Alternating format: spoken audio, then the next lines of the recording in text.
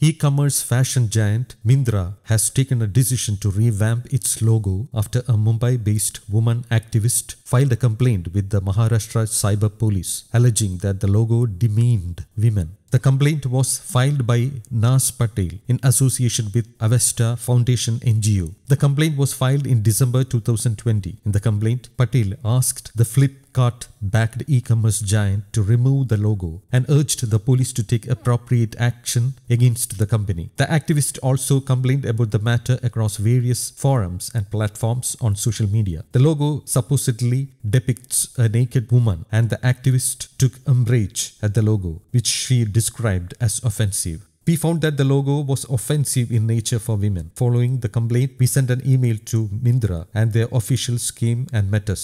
The officials said they will change the logo in a month's time. DCP Rashmi Karandikar of Mumbai Police Cybercrime Department said. We called a meeting with Myntra following the complaint. They came and agreed to change the logo. They have sent an email as well on the same, she added. The logo will change on all the company's platforms, including website, mobile apps, and packaging material. Myntra is an Indian fashion e commerce company headquartered in Bangalore. The company was founded in 2007 to sell personalized gift items. News Desk, Kaumudy English.